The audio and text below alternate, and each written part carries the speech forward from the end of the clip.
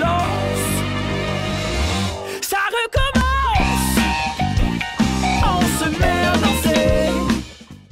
Alors, euh, bonjour et bienvenue tout le monde à un nouvel épisode de- du podcast présenté par Aider Canada. Je suis votre animateur Anthony Vizina et aujourd'hui j'accueille une invitée très intéressante, euh, donc Muriel Jacinthe. Muriel, je te laisse le temps de te présenter.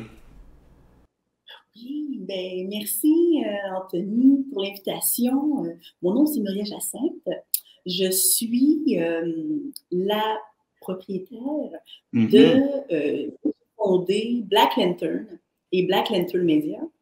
Alors, euh, moi, comment ça, ça a débuté un peu, juste pour dire, je suis une artiste interdisciplinaire. Puis assez tôt, je me suis rendu compte que euh, j'avais besoin un peu de pouvoir travailler avec ce que je faisais de mieux, c'est-à-dire créer. Puis aussi, j'ai remarqué qu'il y avait beaucoup de gens, beaucoup d'artistes qui avaient de la difficulté à travailler 100% dans leur domaine.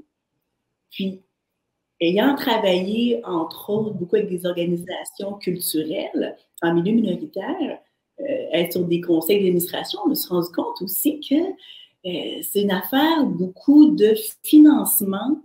Puis quand on n'a pas une structure adéquate, puis un plan stratégique, c'est dur d'être en mesure de créer des choses qui nous intéressent sans être un petit peu, euh, comment dire, euh, un peu obligé de répondre à une demande qui ne convient pas nécessairement à qui nous sommes ou à nos objectifs. Puis en plus d'être toujours en train de faire des demandes de subventions, plutôt que de faire ce qu'on a envie de faire, ben ça prend beaucoup de temps. Aïe, aïe. Ok, je comprends bien. là. Wow, donc euh, excellent. Puis Muriel, juste pour me placer, tu as quel âge au niveau des auditeurs?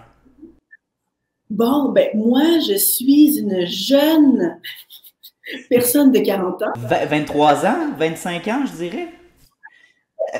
Oui, oui. Écoute, on dit black on crack. Ouais, ouais. Je, je tiens ça. Merci, grand-mère, pour tes famille, c'est jeune. Ah. Donc, je crois qu'on est resté jeune pour toujours. Donc, oui, j'ai eu 40 ans. Puis, Ah. euh, ça fait au moins deux, deux, trois ans que dans la forme euh, que ma business a, là, que Black Lantern existe, mais ça fait plusieurs années, puis j'imagine comme plusieurs personnes que, que je fais différents contrats, là, euh, comme travailleur autonome. ou- Tu sais qu'on a la fibre entrepreneuriale, hein, Ah. C'est- comme... On trouve Ouais. toujours moyen de créer quelque chose. hein. C'est clair, puis sais, je te donne un petit background pour euh, apprendre à se connaître. Moi, personnellement, ça fait 4 ans que je suis en business, 3 ans d'impression, 1 an en marketing web. Et euh, je veux dire, quand on a la fibre entrepreneuriale, je me vois pas faire autre chose de mes journées. Je fais juste ça. Puis bien sûr, j'ai du temps personnel, mais la majeure partie de mon horaire, c'est je voudrais en parler tout le temps, puis avec tout le monde. Mais la réalité, c'est que c'est pas tout le monde qui est inspiré. euh, ben en fait, qui a la fibre entrepreneuriale, qui comprend un peu notre réalité. Donc, je peux relate euh, fortement avec ce que tu dis. Euh, c'est intéressant. Puis est-ce que tu as toujours eu cette fibre-là ou ça a apparu un petit peu avec le- avec l'âge, avec le temps? C'est tellement intéressant ce que tu dis parce que je pense que ça fait partie de quelque chose qui est très familial. Hmm, Ma mère, tu sais, des fois, nos parents ont des talents en particulier right. qui, euh, qui, qui se passent tranquillement à nous. Pas nécessairement que ma mère faisait euh, du commerce, mais dans son travail, euh, elle travaillait dans la vente de commerce à la, à la pharmacie. Puis je me souviens qu'elle a toujours été du genre à faire des deals intéressants Mm. avec, euh, avec euh, les détaillants, euh, les gens qui venaient lui vendre des produits, etc. Elle a toujours eu cette espèce de notion comme de femme d'affaires. Puis en plus, tant mon père que ma mère, même si c'est pas savoir leur domaine, ils ont toujours été super créatifs. Mon père, la photographie, quand j'étais jeune, il y avait une chambre noire à la maison. Ma mère, euh, toujours été tellement talentueuse au point de vue de tout ce qui est design d'intérieur. Les gens venaient comme à des mille à la ronde juste pour qu'elles emballent leurs cadeaux à la pharmacie. Ils amenaient leurs cadeaux de la maison qu'ils n'avaient pas acheté à la pharmacie pour qu'elles puissent Genre. Fait que tu sais, des trucs comme ça, tu dis, ah, ça vient de là. Puis je sais que depuis mon mm. plus jeune âge, j'ai toujours créé des choses dans ma tête. Tu sais, j'ai des souvenirs très, très clairs, comme à quatre ans, j'étais assise sur le sol devant une raie de lumière. Puis je jouais tout seul en, en inventant des jeux ou en inventant des histoires ou en créant quelque chose. à partir du moment que, même pour jouer, je me souviens quand j'avais 10, 11 ans, on avait avec des amis fait semblant de créer un parfum, puis j'étais à fond dans le commerce. Là, j'étais comme non, non, ah attends, j'ai super, super concentrée, que je me rends compte que j'ai toujours eu ça. Puis tu sais, souvent, hmm. c'est pas tout le monde qui est entrepreneur, mais souvent, c'est un peu la même genre de créativité. Hein. Hmm. Créativité, pour les arts, la créativité, pour des opportunités d'affaires. Après, ça prend aussi autre chose, du leadership, de la vision, mais ça se ressemble. Fait que, je suis sûre que toi aussi, là, Anthony, euh, tu devais euh, avoir un petit business là, déjà quand tu étais euh, au primaire. Là. oui, ben, je dirais que j'étais pas. en fait, je connaissais pas le terme entrepreneuriat, je connaissais pas. Ben, je connais le monde des. Je connaissais le terme monde des affaires et tout ça, mais vraiment, mes parents, euh, dans le fond, moi, mon père est entrepreneur, ma mère aussi, donc c'est sûr que j'ai été inculqué un peu les, connaissances au niveau des finances, de gestion de l'argent et tout ça. Mais j'ai toujours eu cette. Bizarrement parlant, quand je partais, moi, ce que j'ai toujours adoré, c'est de partir des projets avec mes amis, OK? Donc, de partir des projets, bizarrement, j'amenais toujours la partie, OK, mais on pourrait monétiser ça d'une certaine façon.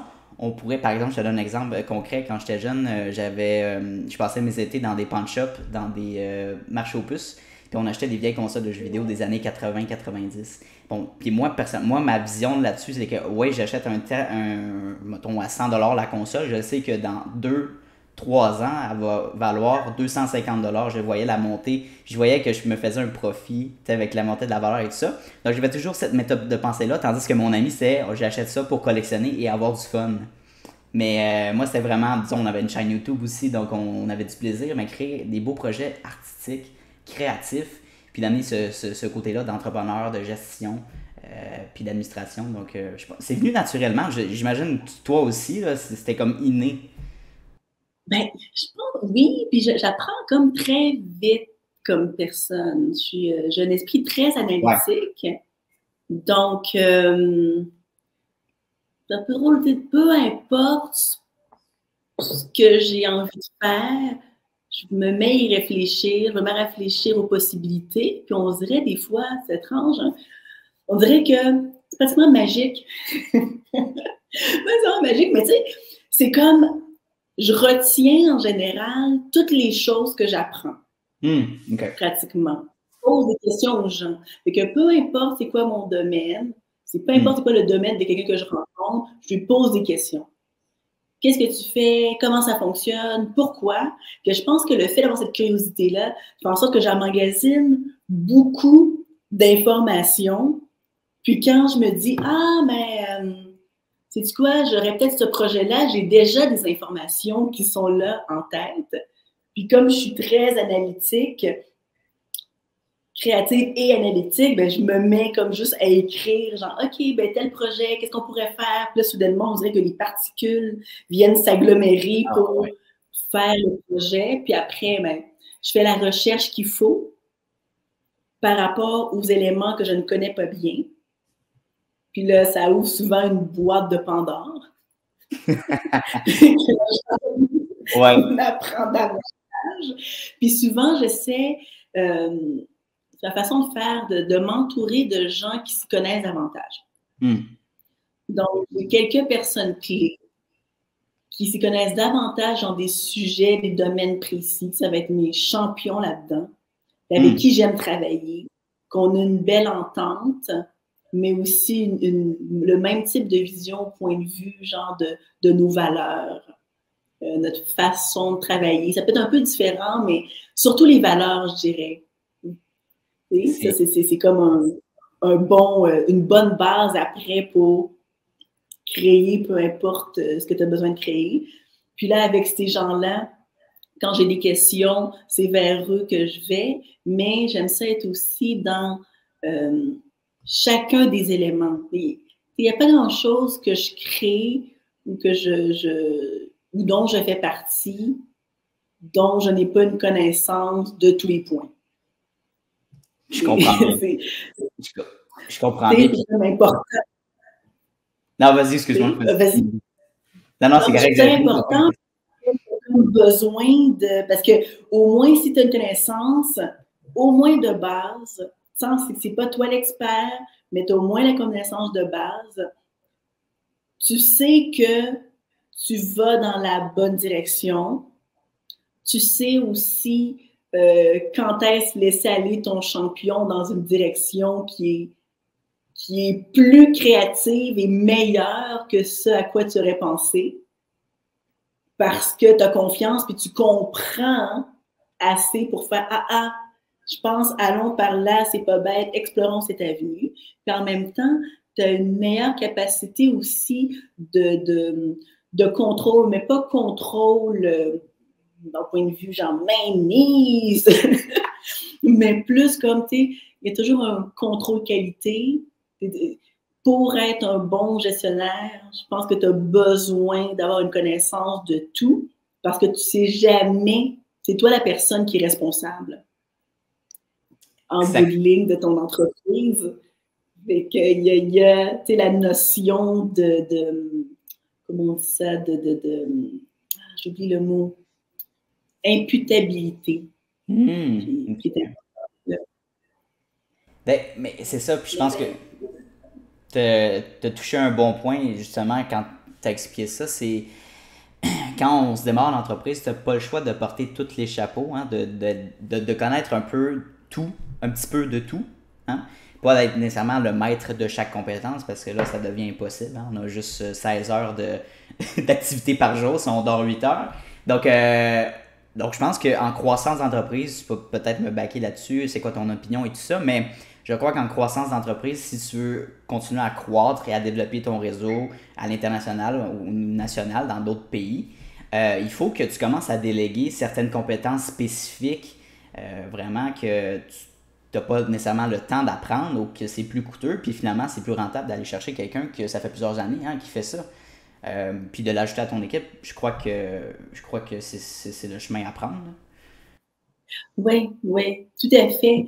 Puis c'est carrément là où j'en suis en ce moment, parce que moi, je, j'ai débuté un peu sur la banque. Très rapidement, je me rends compte que j'ai de plus en plus de, de contrats, de plus mm. de gens, surtout cette année, on dirait que c'est la folie. Tout le monde est comme Je vais t'engager, je vais t'engager. donc, si moi, je veux être plus dans la, dans la partie création, ah, ouais. euh, créativité, parce que je veux pas, tu tout ce qui est. Si jamais, je sais pas, moi, j'ai différents, c'est ça, j'ai différents produits, tu sais, autant hmm.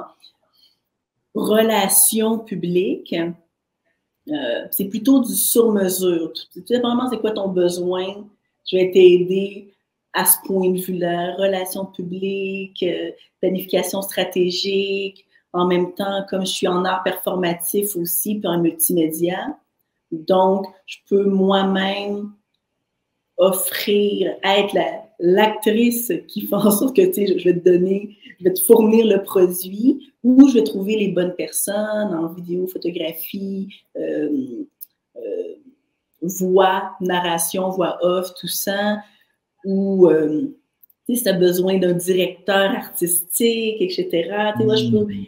Aider pour ça. Puis en même temps, comme je, je, je crée aussi des programmes, mm-hmm. ben, je peux aider, soit je crée mes propres programmes, soit je peux aider à quelqu'un.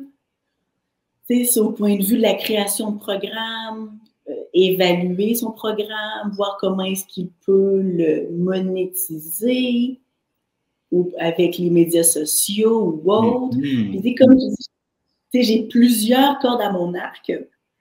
Aussi comme euh, écrivain, là, je m'en vais tranquillement vers, euh, vers les conférences, conférence, mais aussi mon mentor, je train de me former pour devenir conférencière, etc.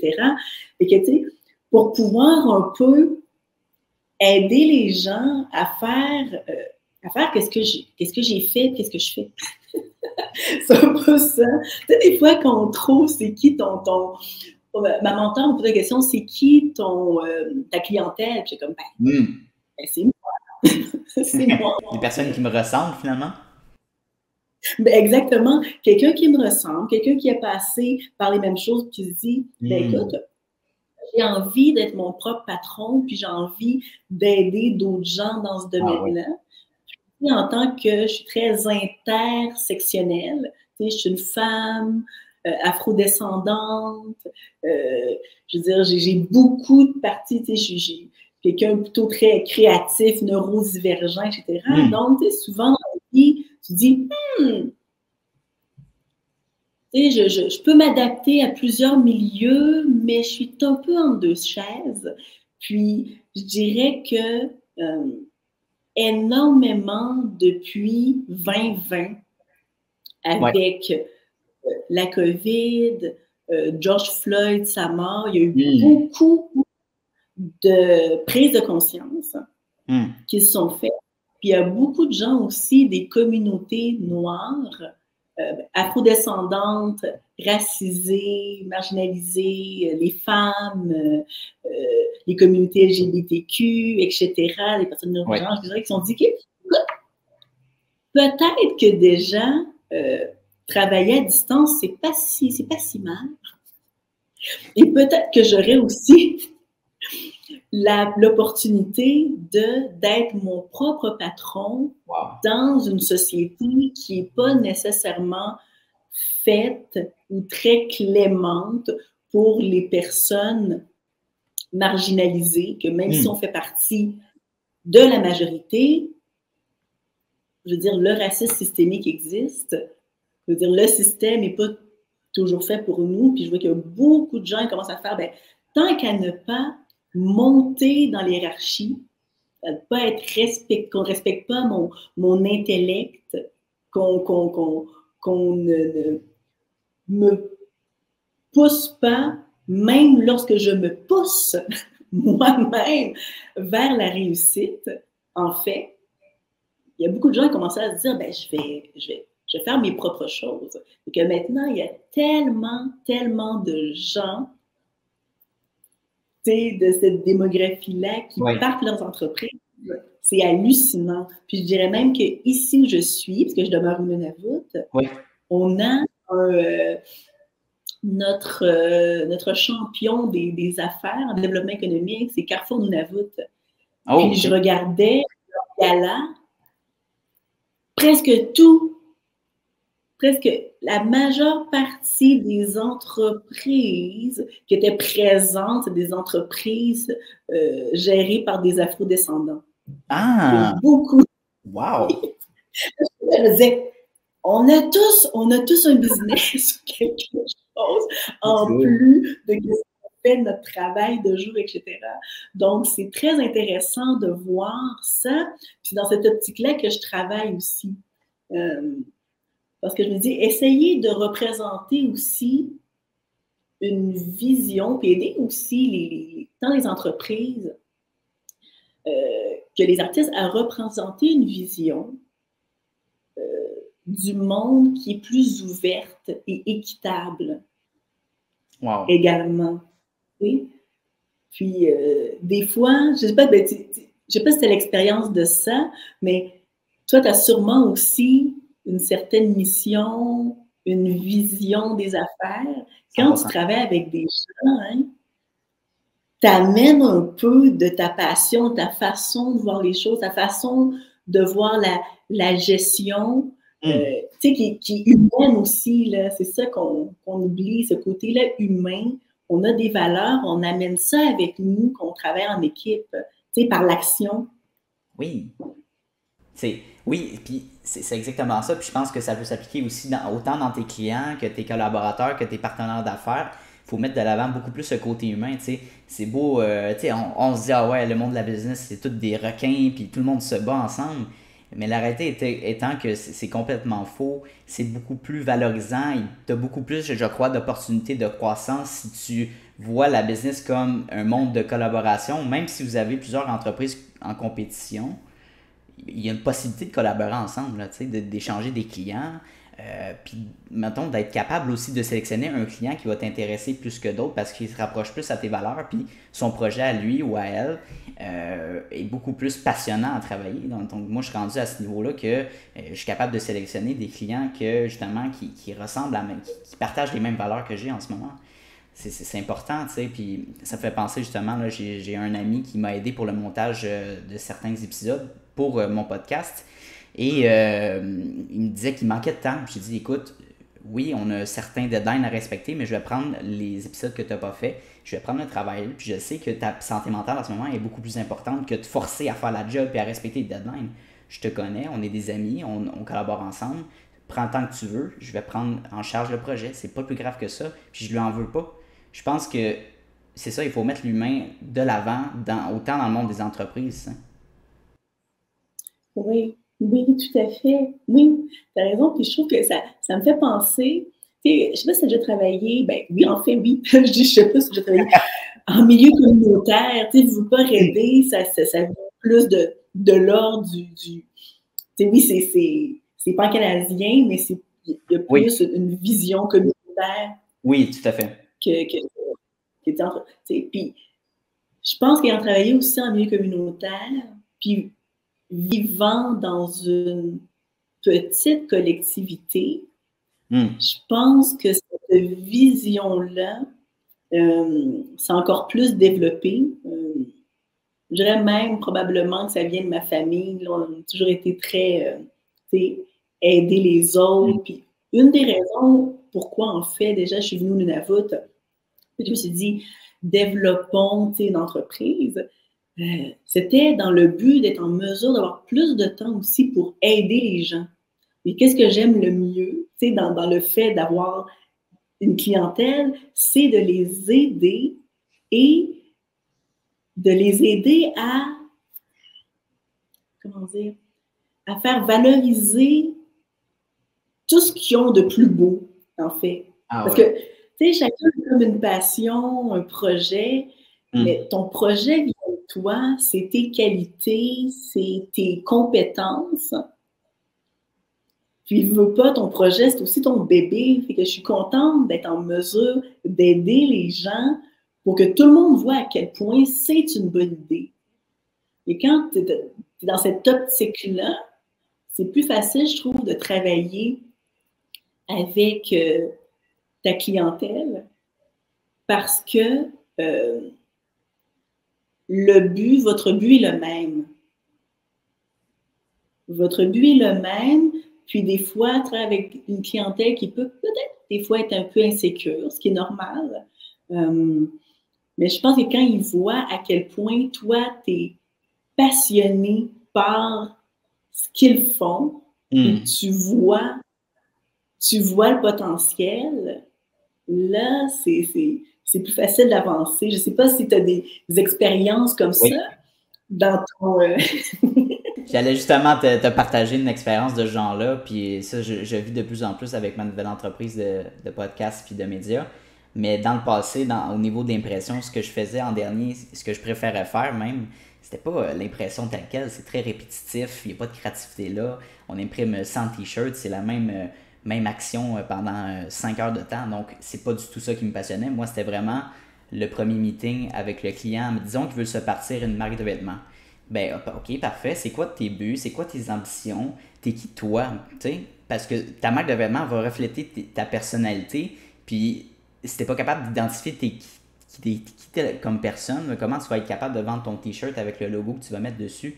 Parce que, qui va représenter ton identité. Si ton identité n'est pas tout à fait claire, ça va être plus difficile à vendre. Donc, euh, tu sais, je commence par là, puis c'est vraiment d'avoir une belle discussion beaucoup plus profonde, quasiment philosophique sur c'est quoi ton projet, puis pourquoi tu veux le marketer. Euh, donc, de mélanger ça avec le business-business, euh, je crois que c'est très, très valorisant. Puis c'est beaucoup plus. il y a beaucoup plus de retour sur l'investissement avec ça. Mais oui, ça, c'est des belles expériences que j'ai vécues. Là. Ouais. Ouais, Ouais, c'est vrai. hein.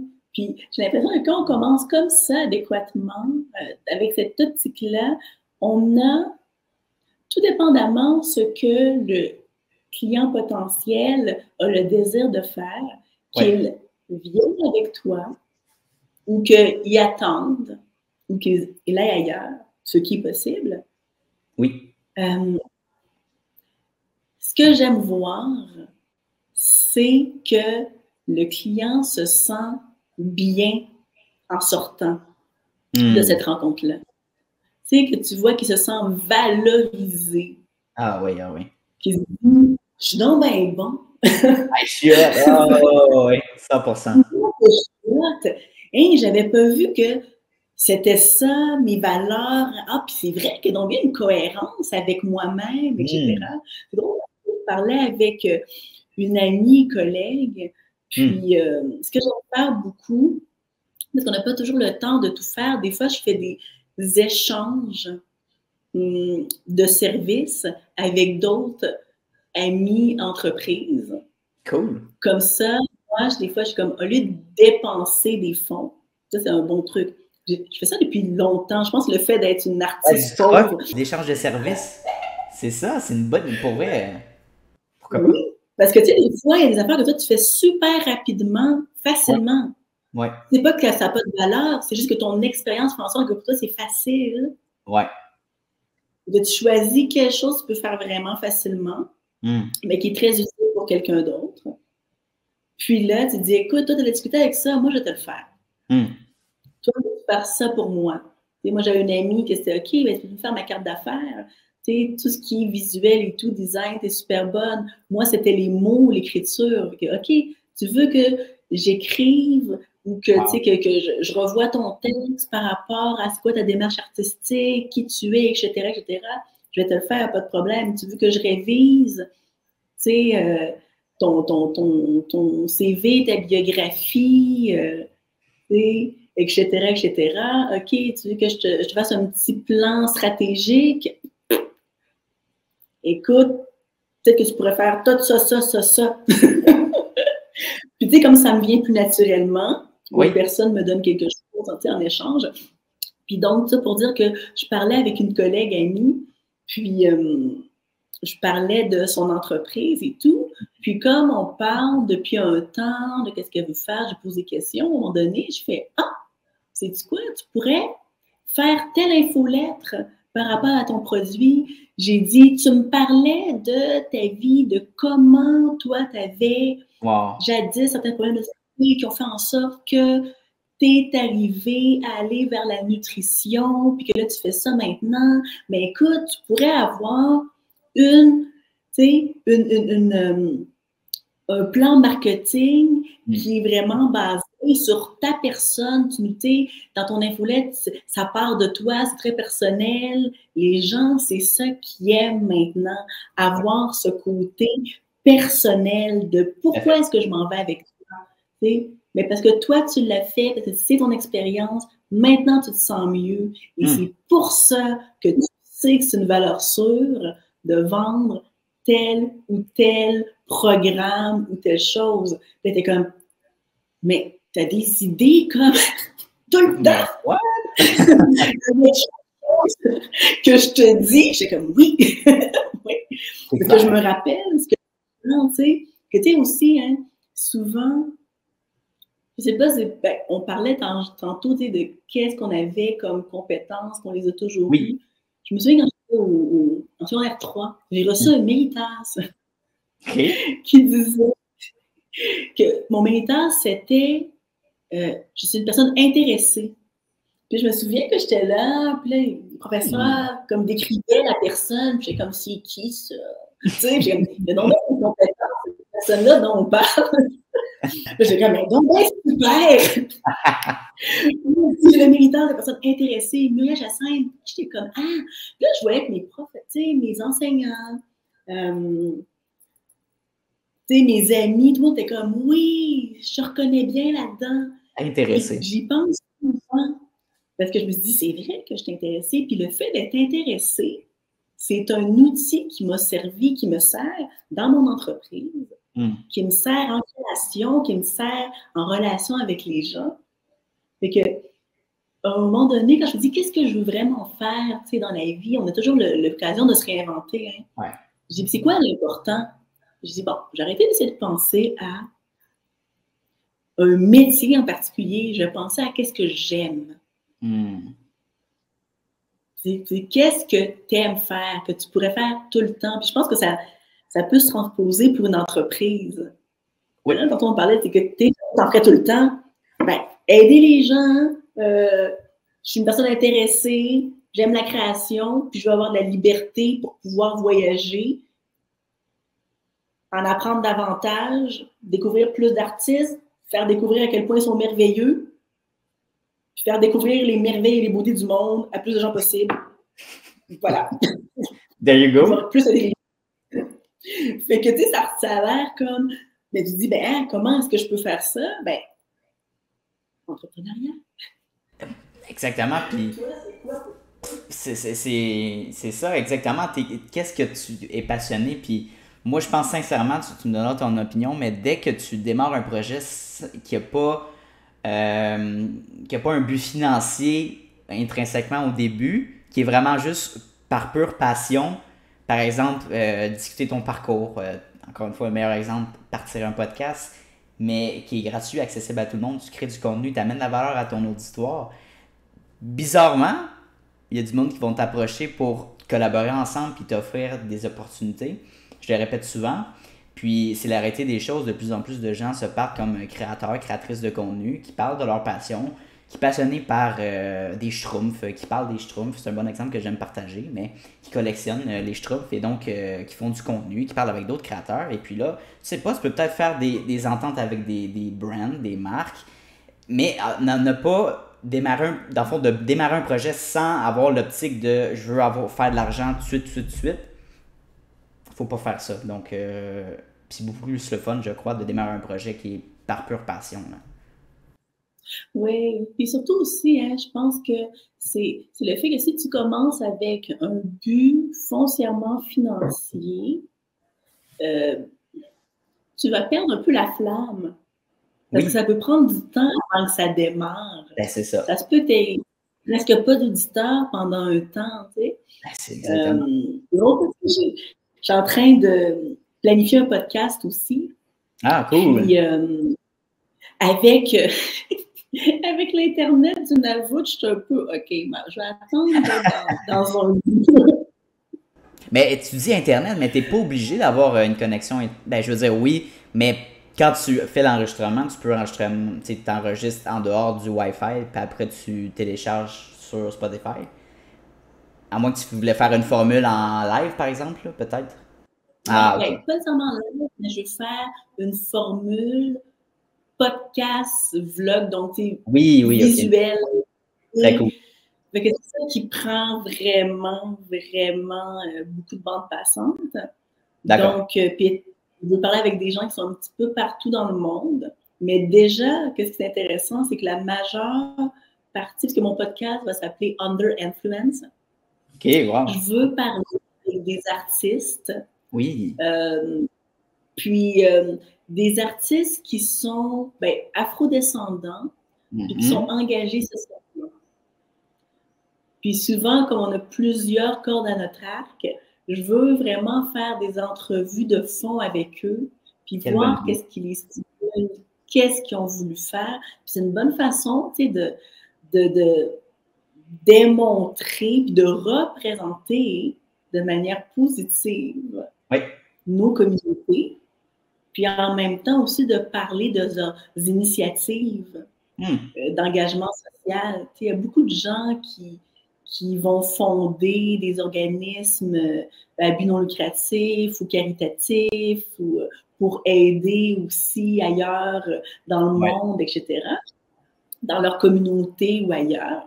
Donc, c'est de ça dont je veux parler avec Quelle eux. bonne idée. Puis, puis, merci. Puis je me suis dit que c'est intéressant, c'est que quand j'ai commencé à en parler aux gens que je que comment, qui, qui m'intéressaient, Hmm. ben, tout le monde, tout le monde m'a dit oui. Tu sais, des gens que je connais, des gens connus, euh, des gens euh, que, Hmm. que je connais à peine, que j'avais j'ai commencé à parler sur LinkedIn parce qu'on dans les, les mêmes conversations sur diversité, équité, inclusion. Puis tout le monde était comme oui. Puis là, je demandais à ma, à ma mentor, euh, Seneca Dunmore, qui est philanthropiste. euh, elle est très engagée en, en- au point de vue. Elle, elle aide les entreprises, surtout Mm. de femmes afrodescendantes, à développer leur entreprise par le biais de tout ce qui est euh, euh, médias sociaux, euh, monétiser LinkedIn, etc., etc., Ouais. trouver du financement. Euh, puis, c'est ça, elle voyage beaucoup à travers le monde pour faire des conférences, puis aussi faire du bénévolat. Hmm. Puis, je demandais à Seneca, j'ai dit, mais c'est drôle, tu sais, les, les gens sont portés à me dire oui. C'est comme, j'arrive avec une idée, moi, je, je débute comme ça, tu sais. Je suis pas connue nécessairement. Puis les gens sont comme oui, oui, oui. Je dis pourquoi Oui. est-ce qu'on me dit oui? Puis elle me dit, c'est qu'on voit que ce pourquoi tu fais les choses, Hmm. c'est pour aider. Ça vient d'un bon fond. C'est Ouais. pas juste pour l'argent, c'est pas. C'est parce qu'il y a une mission derrière. Là, j'étais comme. Fait que je pense que, tu sais, le fait d'avoir une mission aussi, c'est ça qui fait en sorte que tu es. Ben, je pense que tu peux euh, continuer avec volonté à avancer, euh, à passer à travers des moments difficiles, puis avoir des belles collaborations avec des gens qui ont comme la même vision que toi, puis continuer comme à croître. Euh, il y a des gens qui vont te suivre sur les médias sociaux, qui vont acheter tes produits ou je ne sais quoi, parce que tu as quelque chose qui est euh, au-delà de l'argent. Le but, c'est d'offrir un service. Puis je pense que c'est ça qu'on oublie parfois. C'est offrir un service, répondre à un besoin.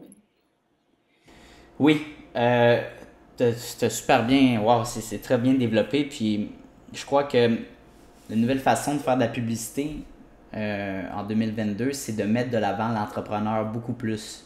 Tu sais, de savoir comment tu démarrais, c'est quoi ton parcours, un peu comme qu'on fait aujourd'hui. C'est quoi ton parcours? Pourquoi tu as démarré ce projet-là? Oui, évidemment, on veut tous faire de l'argent, mais encore, pourquoi? Euh, c'est quoi l'impact que tu vas avoir? Par exemple, le podcast qu'on a en ce moment, c'est d'avoir un impact sur les communautés francophones à travers le Canada, puis inspirer les jeunes. Tu sais, notre auditoire, ça va être dans la vingtaine. D'apprendre différentes générations, de savoir comment eux ont grandi dans, leur environnement, c'est toujours intéressant. Puis, on va dire les vraies affaires. Dans quel autre contexte social est-ce qu'on peut discuter et en apprendre, avoir une discussion aussi profonde comme qu'on a en ce moment euh, dans des podcasts autres places? Je ne vois pas d'autres places qu'on peut faire ça. Donc, euh, je pense qu'il faut prendre possession de cette opportunité-là que, je veux dire, il n'y a pas de barrière à l'entrée. Tout le monde peut, peut se partir un podcast, euh, un vlog, une série web. Tout le monde peut faire ça avec leur téléphone, avec leur micro acheté sur Amazon. Donc, tu sais, c'est tellement facile.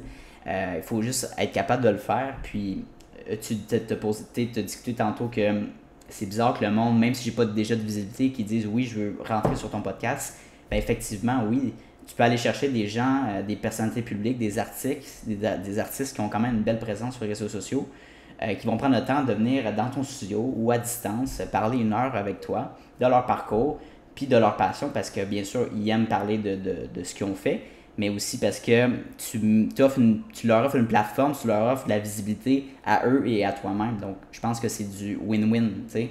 Euh, moi, j'adore, j'adore faire ce projet-là. Je me verrais pas faire d'autre chose. Ben, écoute, je trouve que c'est un excellent projet parce que ça permet, puis j'aime ça que tu parles de la jeunesse, parce qu'on a beaucoup, euh, comment dire, des fois j'ai l'impression qu'on laisse la jeunesse un peu de côté au point de vue de euh, qu'est-ce qui est affaire leadership? Sais, c'est pas nécessairement quelque chose qu'on apprend comme sur les bancs d'école. Euh, Je me souviens, bon, peut-être que- ça, peut-être que ça a changé un peu, mais tu sais, je pense qu'on avait là, en économie en secondaire Ouais, 4, je suis sûre, quelque chose comme ça. Je pense qu'on avait Ouais. l'économie. ça touchait les Euh, bases, là. C'était pas. C'est ouais, vraiment très de base, puis euh, économie familiale, Ouais, c'est pas de faire un boxeur, de faire, un- Ah ouais. de faire une lasagne. Ouf.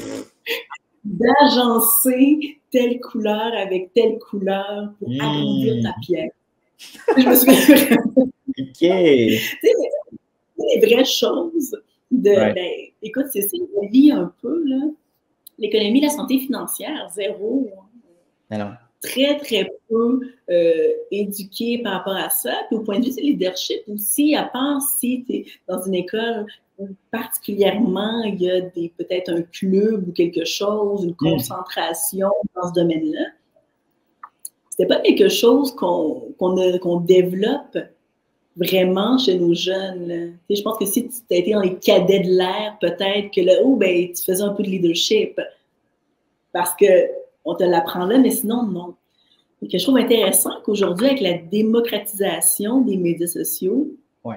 avec les technologies, bon, c'est sûr qu'il y a, bon, y a des côtés néfastes et bénéfiques à toute chose, mhm. mais cette accessibilité-là, quand même, offre cette démocratisation qui fait en sorte que tout le monde, s'il le veut, peut créer quelque chose et Ouais. développer euh, son leadership euh, au point de vue de ses idées, de sa création, euh, de, de, de son d'une entreprise, peu importe.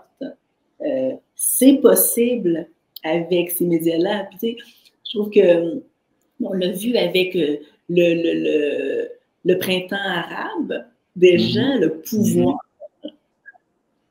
sais, des médias sociaux par rapport à l'opinion publique. On a vu aussi, euh, bon, euh, c'est sûr, avec les jeunes maintenant, tout ce qu'on a, il y a plusieurs plateformes intéressantes, très utilisées, TikTok, Instagram. Instagram, TikTok maintenant, je dirais encore plus que Facebook, pratiquement, mais tout dépendamment pour la, la, une vente ou un engagement, engagement plus euh, viral, je dirais, tu sais, que, fait que avec ça, il y a Mm. tellement de possibilités, puis le fait, tu depuis 2020, d'avoir beaucoup travaillé à la maison, a fait en sorte qu'on a vu Ouais. aussi, ben écoute, euh, c'est possible de repenser le travail, repenser la Exactement. façon dont on veut vivre notre vie. Tu sais, et le travail, et vivre notre existence. Ah oui. Ah oui, puis je pense que, en tout cas, moi personnellement, j'ai fait une grosse introspection, puis beaucoup, plusieurs de mes amis, euh, des, des amis de la famille aussi. Puis moi, j'ai vécu des cours en ligne à 100% à distance, euh, une reprise aussi en présentiel. Euh, mon entreprise, tout, à- tout est à distance, puis évidemment, il y a des bénéfices à ça. Euh, pour les cours à distance, il y a eu beaucoup de bénéfices parce que je faisais ça à mon rythme. Par exemple, la professeure envoyait toute sa documentation, les tâches à faire à distance, puis il nous donnait, il nous envoyait des capsules vidéo un peu comme qu'on fait. Donc avec la matière, puis apprenez au, au rythme que vous voulez, vous avez tel devoir à remettre, puis c'est noté, mettons 10%. Puis à chaque semaine, puis c'est bizarre, dans ce cours-là, j'ai eu comme euh, 90%, tandis qu'un cours euh, semblable en présentiel, j'aurais peut-être eu 75%. tu sais. C'est vraiment la méthode d'enseignement peut tellement changer. Dès que tu donnes un petit peu de liberté à ton étudiant, à ton étudiante, je crois que ça peut aider. Puis ben, là, ça touche le système scolaire, mais pour tout ce qui est travail, euh, avoir le choix maintenant, l'option de moi, je veux aller travailler au Mexique à distance, puis je suis capable de, de faire toutes mes tâches sans problème, de respecter mes deadlines. Ben, pourquoi moi, je pourrais pas travailler au Mexique euh, et ne pas être obligé de travailler à, à Laval ou à Montréal, tu sais, ou euh, dans une ville à côté de mon bureau de travail. Euh, Il y a du monde aussi qui préfère faire un mode hybride, de moitié quelques jours en, en présentiel, quelques jours. Donc, tu sais, d'avoir l'option, cette liberté-là, de ces gens-là, je crois, en pandémie, les, gens ont découvert que qu'est-ce que j'aime faire, je veux mettre de l'avant mes passions, mon temps personnel et que ça soit ça priorisé plutôt que le travail. Euh, ça, c'est mon point de vue là-dessus. Oui, plus vers un genre de bien-être Ouais. et au travail, et dans la vie personnelle, et dans les études, Hmm. qui te permettent comme de, de, de, de prioriser ce qui est important pour toi. Et comme je dis, comme je dis souvent, mais je m'en suis rendu à un moment donné, c'est on a juste une seule vie à Ouais. vivre. Puis c'est la nôtre. Il n'y a personne d'autre qui va la vivre à notre place. Puis à la fin, disons-le, euh, entouré ou pas, on, on, on, quitte tout de même seul. Et qu'à la fin, tu es avec toi-même. Puis tu vas dire, même, qu'est-ce que, qu'est-ce que j'ai voulu faire? C'est toi que ça touche avant tout. Fait que je me suis dit, en bout de ligne, peut-être mieux de faire ce qui me rend heureuse parce que même si je me plie à ce que la société dit, tu devrais être comme ça, il faut travailler 5 jours, ben oui. 8 et demi à 5, ta, ta, ta. Quand tu dis, OK, oui, mais est-ce qu'on s'entend que dans une journée de 5 jours, probablement qu'il y a une journée entière qui est gaspillée à rien faire parce qu'on n'est pas concentré du tout. Hmm.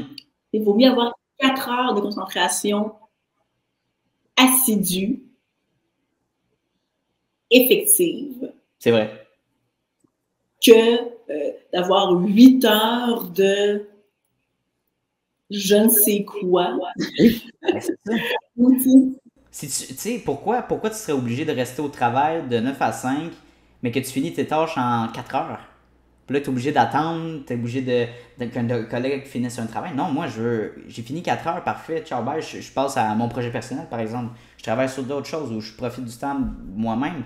Moi, je pense que la nouvelle façon de travailler, puis ça va être difficile peut-être d'adapter pour certains travails, mais ce que je faisais avec mon, ancien monteur vidéo, c'est que je lui donnais des. Euh, je lui donnais pas d'horaire de 9 à 5. Je lui disais il faut que tu me remettes euh, d'ici mercredi soir, 23h59, deux épisodes de podcast, par exemple mais tu n'as pas d'horaire de travail. Tu travailles la nuit, tu travailles le jour, tu, gères ton horaire toi-même tant que tu respectes le dépôt des fichiers. Il n'y en a pas de problème, fais ce que tu veux. Euh, puis cette liberté-là, c'est bizarre, mais ces gens-là, c'est. Ben, ils travaillent beaucoup plus vite, sont beaucoup plus productifs, sont beaucoup plus efficaces. Puis ça crée un esprit de créativité, comment sauver du temps, comment être plus rapide, comment faire des presets. Donc, tu sais, euh, je crois que c'est intéressant d'appliquer ça dans plusieurs travails, de, de, de, de donner plus de liberté à l'employé, d'arrêter de tenir par la main, tu sais. Oui, c'est comme, c'est en faisant confiance aux hmm. gens. Je l'ai entendu ailleurs, là, euh, je sais que ça existe, cette citation. Je jure, je jure. c'est ça, ça existe. Je ne veux, pas dire que c'est moi qui l'ai inventé, mais je pense que tout le monde, tout le monde l'a remarqué, du moins. C'est que quand tu fais confiance euh, aux gens, ben ils vont vouloir rencontrer tes attentes. Oui.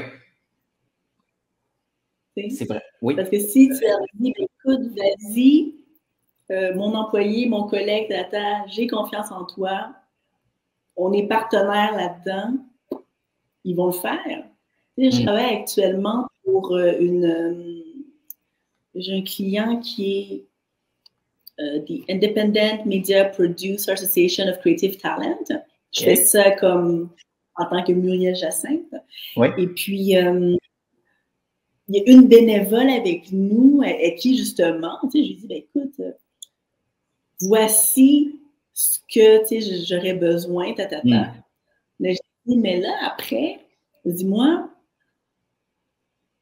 la deuxième étape, ça va être qu'on se rencontre, puis qu'on discute ensemble de comment on va gérer le reste.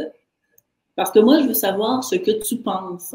Je veux savoir ce que tu penses. Je ne veux pas juste te dire, ben vas-y, fais ça, fais ça, fais ça. Je le sais, je, sais qu'est-ce qu'il y a à faire.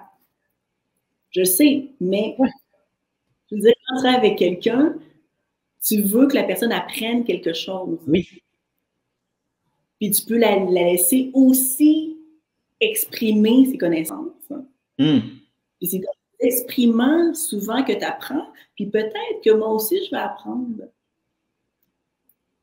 En la laissant me parler de comment elle voit les choses. Oui. Puis pour moi, toute discussion, c'est une création une hmm. possibilité de création, une rencontre, la rencontre de l'autre, l'écoute, puis de toute communication, il y a une possibilité de créer quelque chose de nouveau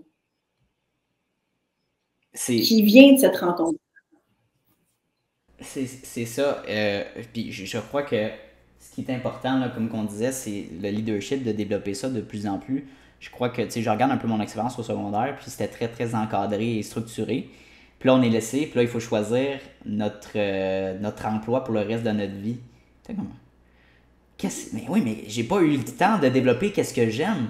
Attends une minute, là. Je m'en vais dans un programme 3, 3 ans, 2 ans, puis là, il faut que je change, il faut que j'aille à l'université et tout ça, mais il faut que je prenne une décision maintenant. J'ai, aucune idée. Fait que la majeure partie des gens, soit ils, se ramassent dans un programme qui ne sont pas passionnés, ils- ils arrêtent, ils décrochent. Ils vont travailler dans une job à temps partiel parce qu'ils n'ont pas nécessairement les, acquis, les compétences pour aller chercher un meilleur salaire. Puis ils sont pris dans ce, dans ce, dans ce moule-là, finalement, que là, je sais pas qu'est-ce que j'aime, puis je payé dans cette job-là pour payer mes factures. Mais si on avait appris le leadership, l'indépendance, la confiance en soi dès le secondaire, dès le primaire, dès le primaire, secondaire, on serait beaucoup plus équipé dans notre sac à dos pour choisir ce qu'on veut faire plus tard. Euh, malheureusement, j'ai passé par là aussi. Au début, je voulais aller dans les jeux vidéo. Je voulais faire créer des jeux vidéo. J'ai appris que euh, au cégep, c'était pas fait pour moi. Le dessin, euh, j'étais vraiment pas euh, outillé pour ça. Fait que j'ai complètement changé. J'ai découvert des vidéos sur Internet sur la business. Ah wow, j'aime ce créateur-là. C'est grâce à un créateur de contenu qui ne faisait pas d'argent initialement, mais qui parlait de sa passion d'entrepreneuriat, son projet, que j'ai pu créer. Moi aussi, je vais me partir mon entreprise. C'est parti de là, puis j'ai trouvé un, un programme d'études en conjoint avec mon entreprise qui était gestion de commerce. Et euh, puis ça parti de là, mais je pense que j'aurais été beaucoup plus avancé si j'avais appris ces connaissances-là euh, au secondaire. Mhm. Oui, oui, oui, carrément. Et si on avait comme stimulé un peu ce- cette, notion de questionnement sur, bon, quelles sont mes compétences, Ouais. qu'est-ce que j'aime faire, euh, avoir cette possibilité-là d'explorer. Je pense que, puis, on parlait de travailler en équipe, ou comment, en fait, de travailler avec des gens, on amène un peu de notre vision. Euh, et quelque chose d'important pour moi, beaucoup, c'est la jeunesse. Mhm. Donc, euh, puis pour moi, ces arts m'ont beaucoup aidé dans la vie. Euh, je pourrais dire même, tu chacun a comme une passion euh, qui est un peu, qui l'aide à sublimer euh, les, je veux dire, les, les défis de l'existence. Il y en a qui du sport, il y en a qui c'est, euh, je sais pas, moi, les arts, etc., etc. Mhm. Moi, ça a toujours été les arts. Donc, euh, j'ai commencé en 2019. Là, ça a été interrompu euh, durant le COVID, mais c'est le but, c'est de poursuivre avec ça.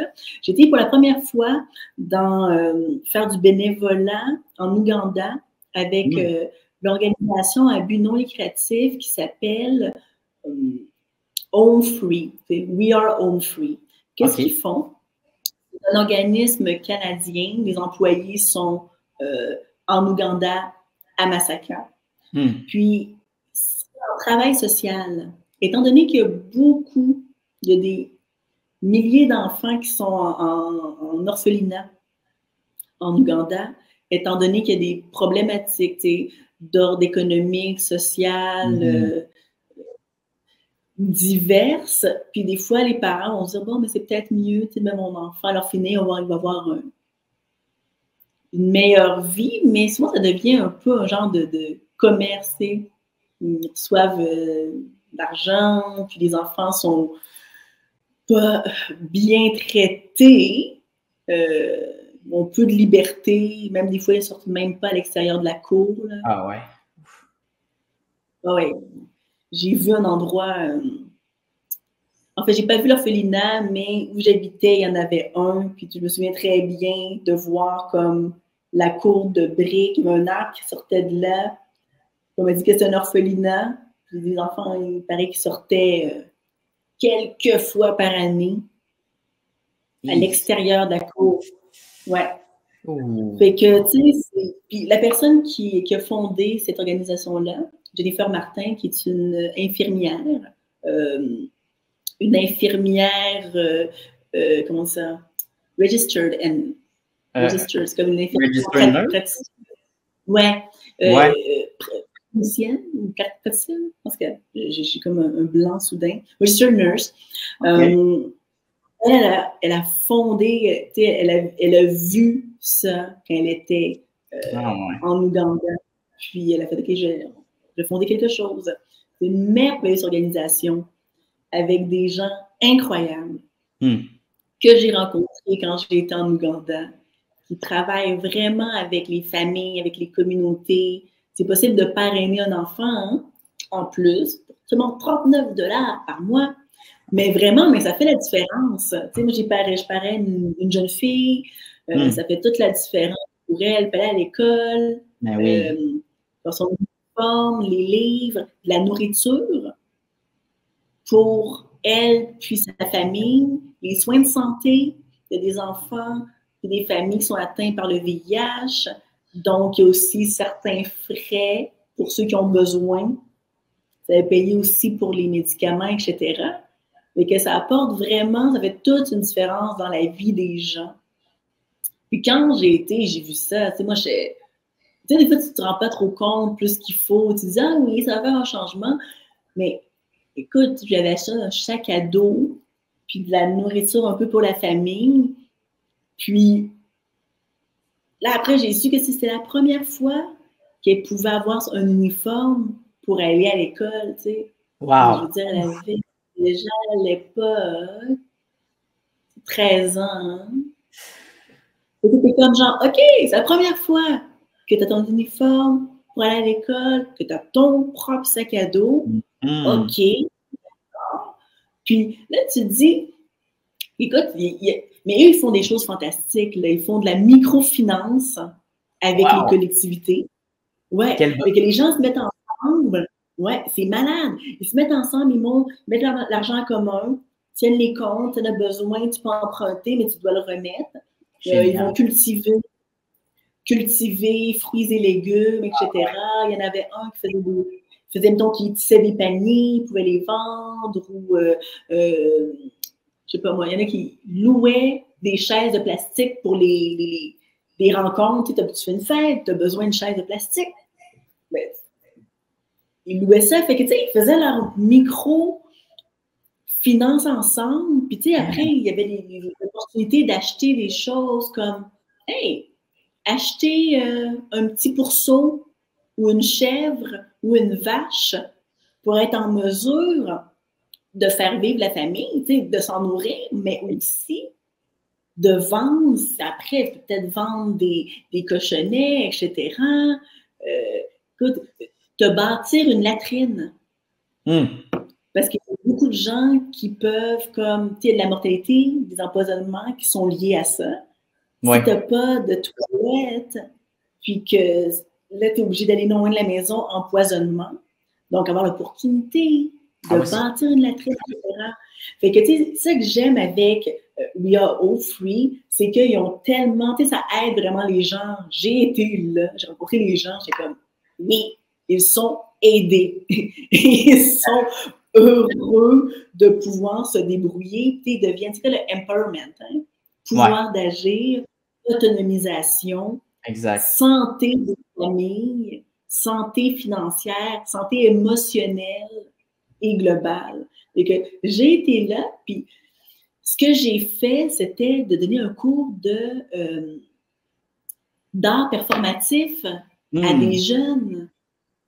Fait qu'on a fait une activité avec eux, puis ma vision qui vient aussi de mon parcours euh, en littérature africaine et francophonie à la chaire de recherche euh, du Canada, de l'Université Laval, c'est la vision que c'est important, ta langue et ta culture sont importantes. Donc, pour moi, c'était pas un spectacle pour moi, c'est un spectacle pour les enfants et la collectivité. Hmm. Donc, j'ai cherché, je des questions. Est-ce qu'il y a une légende que tout le monde connaît, que je pourrais trouver facilement? OK. Là, j'en trouve une, et les gens la connaissent déjà, fait que ils connaissent déjà l'histoire. Tu sais, ça va. Puis, tu sais, je veux pas, on avait un petit peu de barrière de langage. Moi, je parlais, tu sais, français-anglais. Je parlais pas nécessairement l'Ouganda, mais il y avait les travailleurs sociaux qui étaient avec moi, puis des, Ben des oui. enseignants que eux parlaient l'Ouganda. Que je parlais aux enfants en anglais, les autres traduisaient. Mm-hmm. Oui, ils parlent anglais, mais ils n'ont pas nécessairement un niveau à cet Mhm. âge-là super élevé. Donc, tu sais, c'était des adolescents, là, 13 à 15 ans, parce que Mhm. je voulais aussi offrir davantage à cette partie de la population des jeunes qui est un petit peu moins servie. Il y a beaucoup de choses pour les jeunes enfants.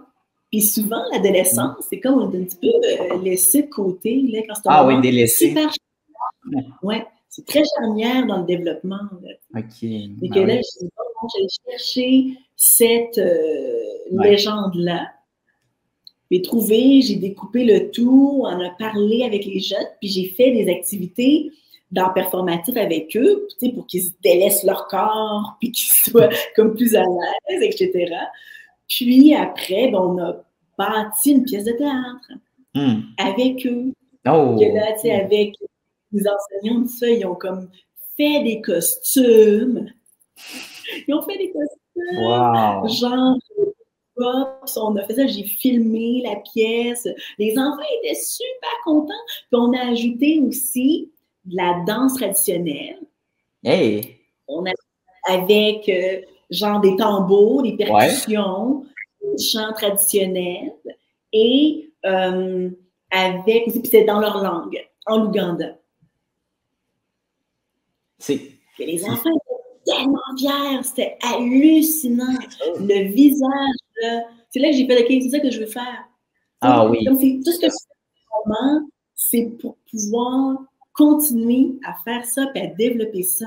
Parce que le visage, le regard de fierté des enfants, il y a des enfants qui avaient, qui, qui ne peuvent pas dire leur nom au début, qui étaient juste comme, j'ai comme, oui, ton nom c'est.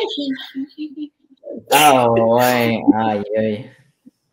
À la fin, tu vois qu'ils sont dépassés, ils sont amusés. Il y en a une qui était tellement timide. À la fin, c'était elle qui était le personnage principal. dans le- dans le- la pièce de théâtre? Ah oui, OK. Une semaine. Fait que, tu sais, c'est ça. Fait que, C'est- tu Honnêtement, les arts formatifs, vas-y, vas-y. Non, non, mais je vais te laisser euh, finir, puis je vais sauter sur. euh, je vais continuer ton point. Ouais, que je veux dire que les arts performatifs, tu sais, ça fait partie, autre que tu sais, ça fait partie aussi, entre autres, de mon, euh, de mon entreprise. C'est comme mon, mon, mon bébé de euh, d'aide humanitaire, de programme que j'ai envie de faire.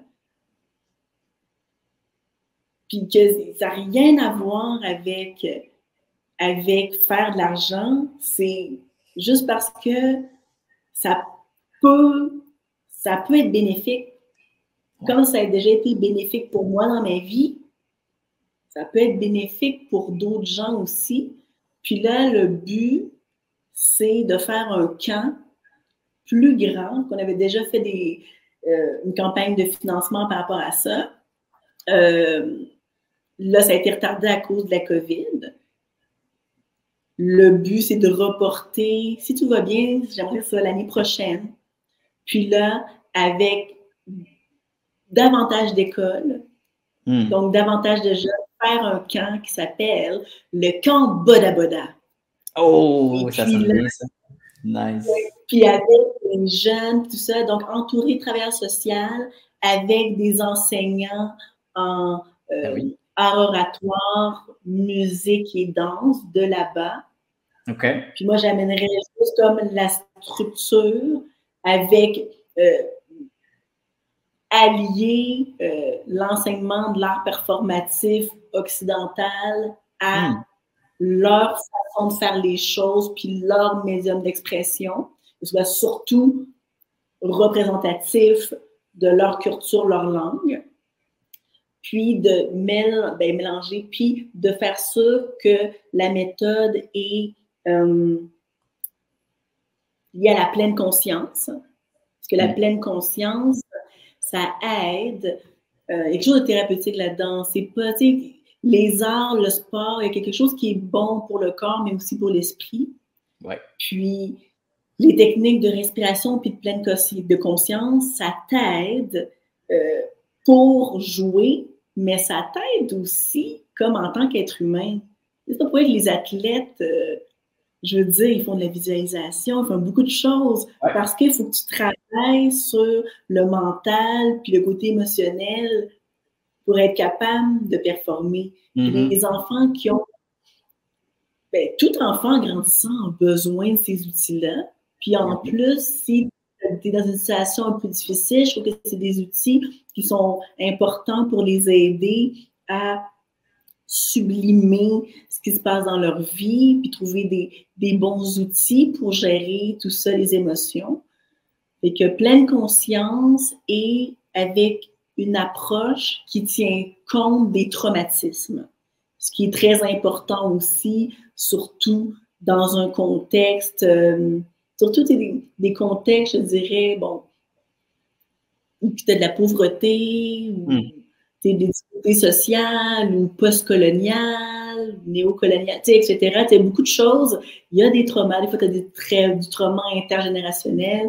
C'est ah, important d'avoir une approche aussi qui, qui, tient compte de tout ça. Fait qu'encore une fois, pour faire ça, je m'entoure des bonnes personnes professionnelles qui vont être capables d'entourer les jeunes, que ce soit comme un, un milieu sain, puis que tout le monde soit formé aussi à comment communiquer avec les jeunes pour être en mesure de euh, faire attention à, à, ça, comme pas euh, exacerber un traumatisme. Sais.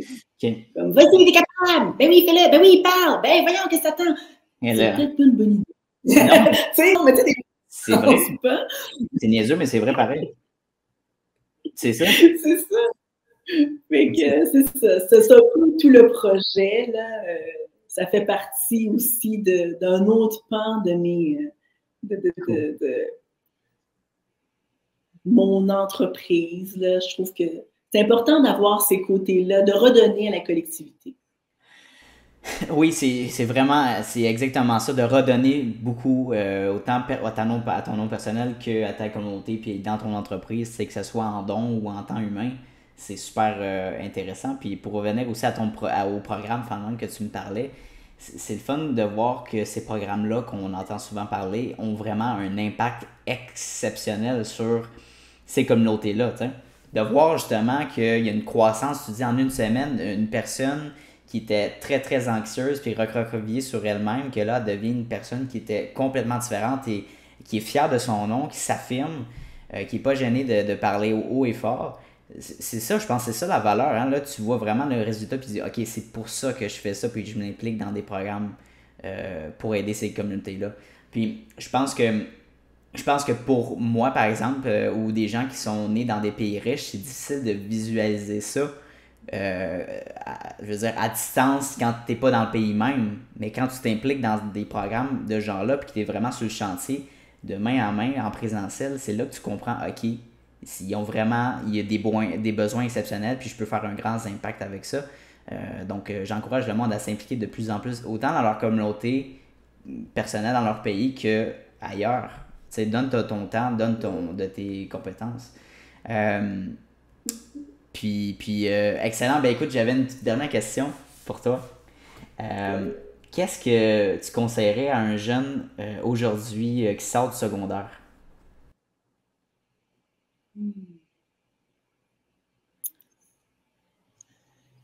Pour pouvoir se partir en affaires ou juste en général? Honnêtement, pour, je regarde un peu notre discussion, puis oui, tu peux donner des conseils d'affaires, mais un peu pour apprendre à se connaître.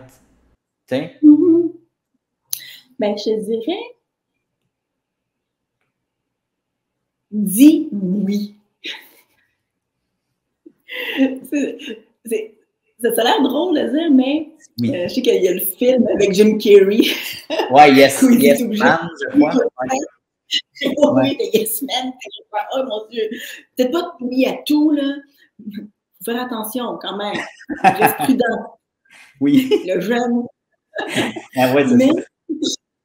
Mais quand même, c'est drôle, que quand je suis venue à Nunavut, mm -hmm. euh, à un moment donné, j'ai dit, écoute, je vais dire oui à ce qu'on me propose.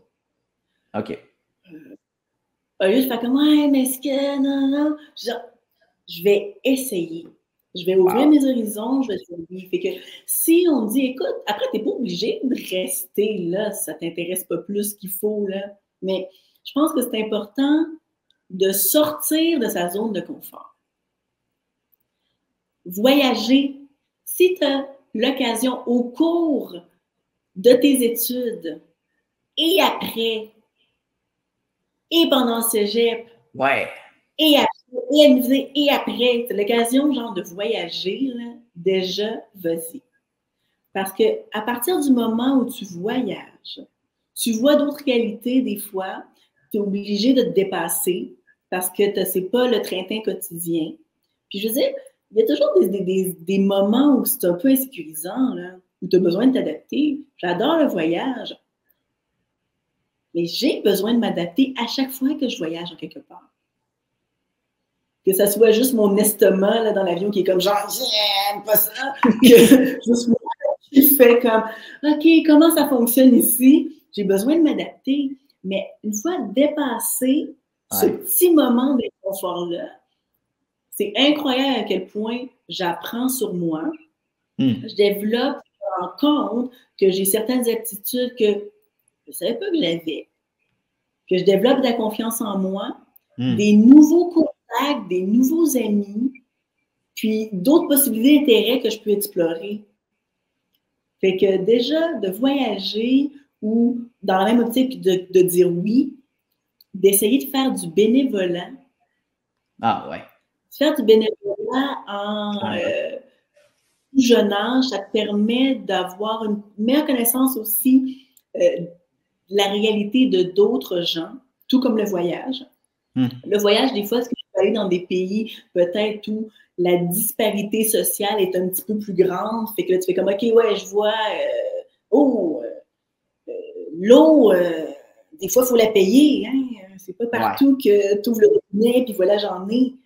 Mais tu sais, des fois, on se rend moins compte chez nous, mais quand tu fais du bénévolat, au moins, tu peux connaître la Mm. réalité de d'autres gens, d'autres choses, pas seulement la pauvreté, mais tu sais, d'autres défis, euh, Oui. idéologiques, wow, tu sais, de toutes sortes. Puis là, encore là, tu apprends beaucoup sur toi, puis ça te permet de penser à autre chose que juste à ta personne. Je pense que ça te permet de grandir. C'est quand on est un peu dans des œillères, genre de c'est ça ma vie, là. C'est dur de se réinventer puis de s'inventer comme on veut l'être. Puis ça te permet à toi de te dire, sais-tu quoi? Si ça existe, je peux le faire. Il n'y a rien qui existe qui n'a pas déjà été inventé. Donc, ce que tu as envie de faire dans la vie, même si ça semble j'aime aider, construire des choses avec mes mains, Mhm. Puis faire de la plongée, puis que ça a l'air disparate, là, mais peut-être que finalement, euh, euh, ton but, c'est d'avoir une, une entreprise de surf à Hawaï et Ouais. de construire tes propres surfs et Ouais. donner des cours aux jeunes Hmm. euh, défavorisés par la banque gratuitement parce que tu as les moyens de le faire, parce que tu donnes des cours à des gens qui sont plus nantis, puis voilà, c'est ça ta vie. Tu, en plus, euh, tu peux voyager. Fait que c'est ça. Dis oui, essaye, puis dis-toi que si ça existe, ça peut être créé. Ou même si ça n'existe pas, ça peut être créé aussi. Oui. Puis, excellent conseil. Puis, je, je crois que, tu sais, mettons, on prend le- l'exemple de l'entreprise de surf. Mettons, même si tu fais euh, 30 000 40 000 par année, mais que tu es capable de bien vivre avec ça, pourquoi faudrait que tu stresses puis trouver un travail qui fait 100 000 que là, ça, selon la société, c'est le succès. Mais soit le succès, tu es heureux dans ton, projet, puis ça t'amène de la valeur, puis tu une liberté incroyable de voyager. Tu sais, tu mets pour et contre, on s'en fout des gens qui te jugent parce que tu fais moins d'argent? Il faut arrêter de mettre ça comme objectif, faire du cash. C'est vrai. T'as tellement Calé. raison. T'as tellement raison. C'est vrai. Si ton but, c'est comme d'ouvrir un dépanneur familial, Ouais. puis que tu es content, tu habites en haut, euh, tu as une belle, euh, une belle relation avec ta collectivité, avec ton quartier, Ben voilà. tu as du temps, whatever, tu sais, comme tu demandes rien, ben let's go. Ben, c'est ça. dire, tu sais, il faut, il faut se rendre compte que les valeurs qu'on a dans la société ont été décidées par nous, Hmm. mais je veux dire, il n'y a pas de valeur immuable, valeur intrinsèque. C'est une construction sociale. Hmm. Et que maintenant, on a la liberté, puis avec les médias sociaux, vu qu'on peut regarder un petit peu ce qui se passe ailleurs dans le monde, on a l'opportunité de voir qu'il y a d'autres manières de vivre aussi. Oui. Tout à fait viable. Puis, tu sais, plus tu voyages, plus tu as l'occasion de remettre en question ce que tu viens, tu viens de dire, Anthony, tu sais, qui est, ben oui, c'est quoi, tu sais, qui est important pour toi? Est-ce que c'est la liberté? Est-ce que c'est, est-ce que c'est d'être heureux? Oui, il va toujours avoir des difficultés, mais des fois, on est beaucoup plus heureux quand on doit un petit peu euh, se dépasser que quand, on, je sais pas, on fait du 8,5 à, à 5, 37,5 heures par semaine, puis voilà, ça se peut que tu travailles plus, mais si tu es content. C'est exactement ça. Vas-y, mets le temps nécessaire. Puis je pense que moi, personnellement, je commence, j'apprends tout le temps à me connaître, évidemment, en vieillissant. J'ai juste 22 ans. Fait tu sais, euh, ça change à chaque jour. Mais je vois un peu plus, je me dirige vers, OK, mon travail est principalement à distance. Euh, oui, bien sûr, je fais des entrevues en présentiel, mais à part de ça, euh, tout ce que c'est mes clients de marketing, c'est surtout via mon, mon ordinateur, puis j'ai déjà une connexion Wi-Fi. Donc, qu'est-ce qui m'empêcherait de changer mon bureau, puis de, de, le mettre, comme j'ai dit tantôt, à Mexico, ou que le, le loyer est beaucoup plus moins cher, en tout cas, c'est beaucoup plus fun euh, l'hiver là-bas qu'ici. donc avec la plage et tout ça. Donc, euh, je veux dire, si moi je suis heureux là-bas, puis pourquoi pas vivre quelques mois dans un autre pays, vivre d'autres mois dans un autre pays, puis c'est avoir cette euh, liberté-là de mouvement. Moi, moi ça m'approche beaucoup plus avec mes valeurs, puis je pense que je m'enligne, je me dirige vers cette, cette ce chemin-là de vie. Là. Écoute, je t'encourage tellement, c'est pareil pour moi. Ah ouais, hein? Mm-hmm. je suis vraiment prête à. C'est ça que je trouve fantastique parce que là, on peut avoir des clients partout dans le monde. Ouais. avoir des clients partout dans le monde, travailler de n'importe où. Oui. Puis de faire encore plus de choses intéressantes. Ouais. Tu sais, que c'est c'est ma direction. Là. Je, je, je m'en vais là. Je, ouais, je m'en vais là tranquillement, euh, mais très sûrement. Là. Que je t'encourage tout à fait. Je t'encourage hmm. tout à fait. Puis tu sais qu'est-ce qui va arriver si, je sais pas, tu finis par travailler au Mexique ou euh, à Hawaï. Ben, n'importe qui, en Floride, n'importe quel endroit. Euh, J'aime bien les endroits tropicaux, c'est pour ça que je, ressors ça, mais euh, c'est ça, ça, peu importe l'endroit. Ah oui, ben, moi je dirais, essaie, j'ai été une fois à Hawaii, Big Island. Oui, est-ce que tu as aimé ça? Ah oui, ah oui, ok. Au début, tu sais, à Oahu, à Honolulu, c'est plus comme citadelle. On est allé à Big Island, c'est là qu'il y a été des volcans, etc. Ah ouais, ouais. Et la nature est merveilleuse. Wow. C'est quand même assez facile de voyager autour, hmm. mais tu sais, l'énergie qui est au Big Island, puis hmm. l'énergie des gens, c'est vraiment, vraiment bien. Je pense que, parce que si tu as l'occasion de lier ah ouais, clairement. travail et voyage, n'hésite pas. Ouais. C'est intéressant. Puis moi, personnellement, selon mes, désirs personnels, je veux faire ça. Mais après, disons, j'en il y a des amis, puis moi aussi, j'en parle disons avec ma famille, ils disent Ouais, mais éventuellement, tu vas vouloir des enfants. Comment tu vas élever des enfants euh, comme ça dans ce mode de vie-là? C'est pas possible. J'ai dit Ben, de un, je suis pas rendu là. De deux, je veux expérimenter des choses. Puis rendu au pont, on traversera. Tu sais, j'ai un peu cette méthode de pensée-là, mais je crois que c'est très ancré dans notre culture, c'est d'avoir un beau conjoint, une belle conjointe, avoir euh, un, chien, avoir une maison dans un quartier. Euh, je crois que ça, c'est la, vision de la réussite. Euh, mais si toi, tu es, content dans ta vie, puis tu développes ta vie, puis tu n'as pas nécessairement besoin d'entrer un nouvel humain dans ta vie pour être fulfilled, je vois pas de problème. Mais puis jamais une, chose par rapport à ça. Je pense que, sais, on nous dit, mais comment tu vas faire avoir une famille, puis vivre ainsi? Oui, c'est ça. Euh, comme, ben, comme on fait n'importe quoi d'autre, le faire. Je veux dire, la, la, la, question même que c'est pas possible. Ouais. D'avoir une famille puis voyager. Qui a dit que c'était pas possible? Mm-hmm. Exactement. Les gens le disent, mais c'est basé sur quoi? Parce que moi, je connais des gens Ouais. Je connais des gens qui sont partis un an avec leurs trois enfants. Ils sont partis du Nunavut, ils sont partis Ah, ouais, avec ok. trois enfants, en congé, mais tu sais, ils ont fait l'école à la maison, puis ont voyagé. La plupart des gens qui viennent du Nunavut sont pas d'ici. C'est sûr qu'il y a les gens qui sont nés au Nunavut, bien entendu, parce que c'est la terre, une terre inuite.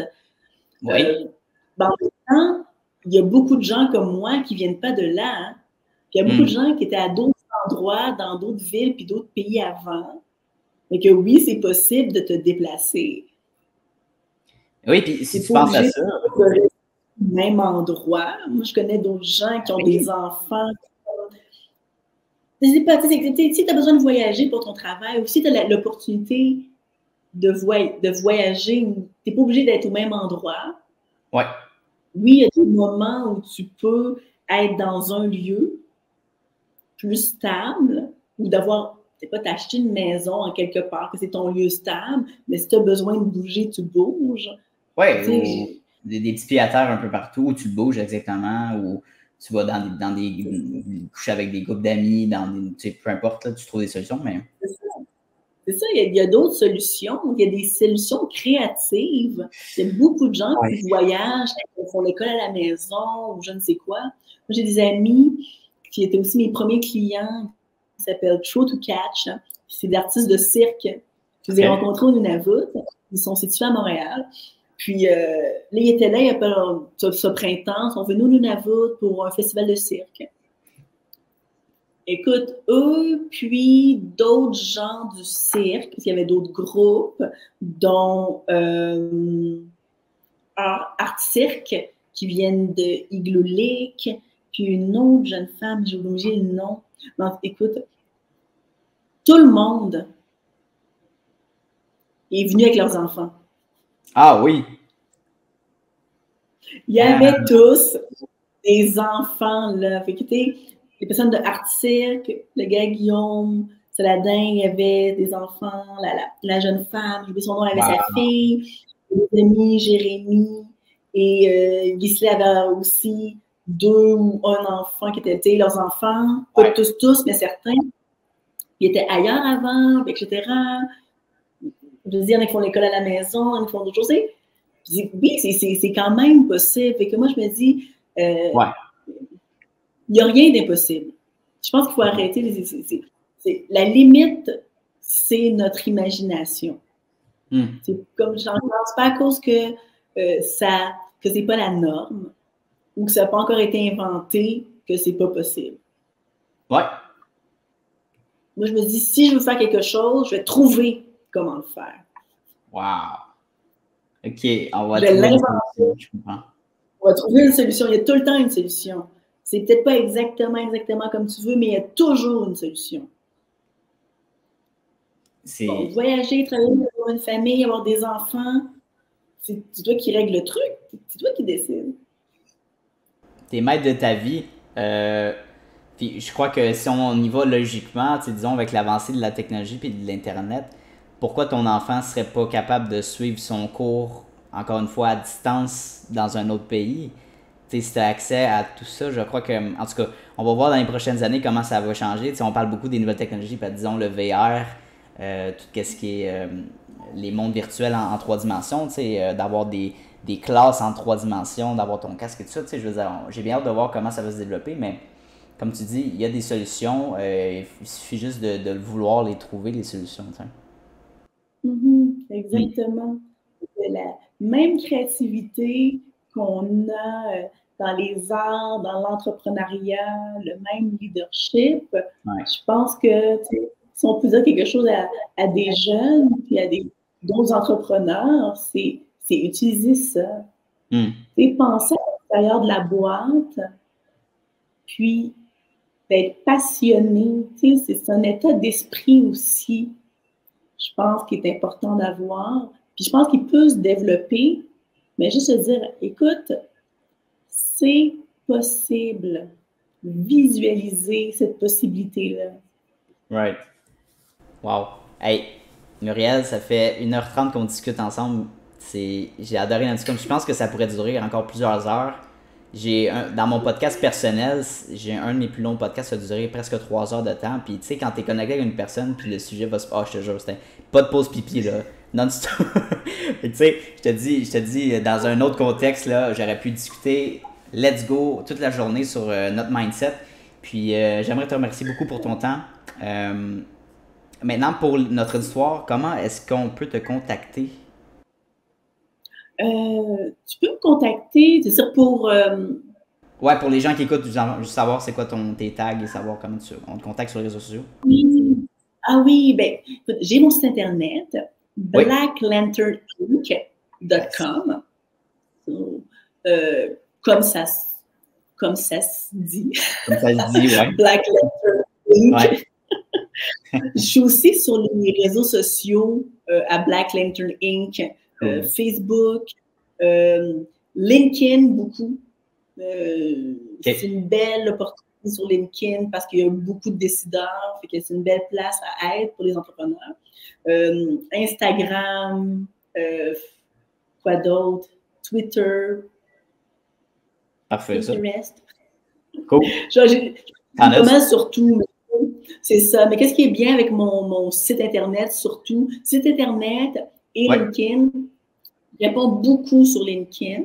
Super. Euh, très, très, très réactive. Puis, c'est possible aussi de communiquer avec moi, puis de voir qu'est-ce que je fais sur mon site Internet, euh, mes collaborations, par exemple, Oh. euh, mon portfolio, mes services. Puis, c'est possible de communiquer avec moi à travers euh, Get in Touch. Right. pour le moment, mon site est en anglais, je vais le faire aussi en français, ma langue maternelle. Hein? Puis, euh, donc, Ouais. mais c'est ça. Là, c'est possible, genre, de. C'est ça, de communiquer aussi avec moi là-dessus, puis euh, euh, ça fait partie de, mon, de ma liste d'envoi. Parfait, ben excellent. Donc, je, je demande ça parce que, bien sûr, notre auditoire, ben, ils sont sûrement curieux de. S'ils écoutent l'épisode, parce qu'ils sont curieux de savoir, d'en apprendre plus sur toi, donc de peut-être d'avoir des questionnements, puis peut-être même collaborer, on sait pas. Donc, euh, ils vont pouvoir te contacter là-dessus. Écoute, euh, encore une fois, un gros merci de ton temps. Exactement. Donc, Merci, Anthony. C'était vraiment intéressant. J'ai eu beaucoup de plaisir moi aussi. Toi. Fait que, Ouais. mais écoute, euh, quand tu veux, si tu as d'autres questions, tu as quelque chose, ou tu peux avec moi. euh, Oui, 100%. Écoute, euh, même si jamais je sais que tu as un projet de démarrer ton podcast, si tu as besoin de conseils, ça va me faire plaisir de, qu'on se fasse un petit Zoom ou euh, on discute ensemble de qu'est-ce que tu as besoin de setuper ça. Là. Ça va me faire plaisir. Oui, j'aimerais ça parce que je suis en train de penser euh, justement comme à la plateforme. Puis je me suis inscrite sur euh, Streamcast, StreamYard comme toi. C'est comme, OK, juste savoir à quel point, tu sais, Oui. ça- qu'est-ce qui vaut la peine, parce qu'il y a différentes, euh, Ouais.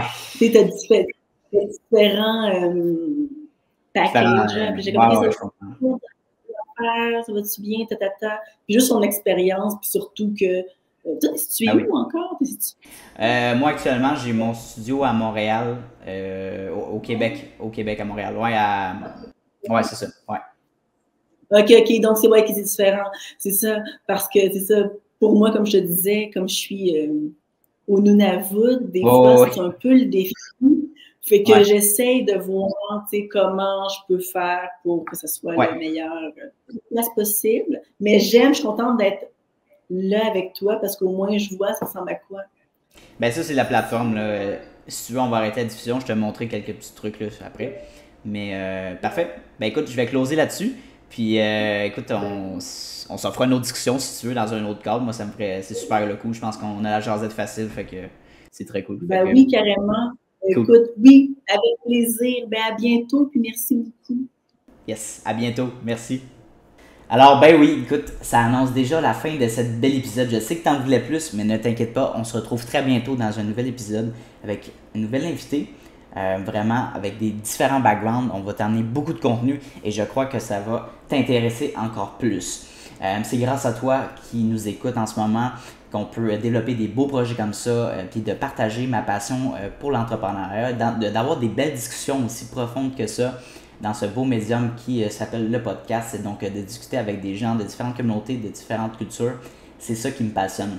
et bien sûr d'échanger sur la business, le monde des affaires et de l'entrepreneuriat. Et donc, si jamais tu veux plus de contenu, n'hésite pas à aller rejoindre euh, dans le fond les réseaux sociaux euh, de Ready Canada et bien sûr du podcast Entre 15 On se revoit très bientôt dans un nouvel épisode. On on recommence. Une autre nuit, on se lance. Ça recommence.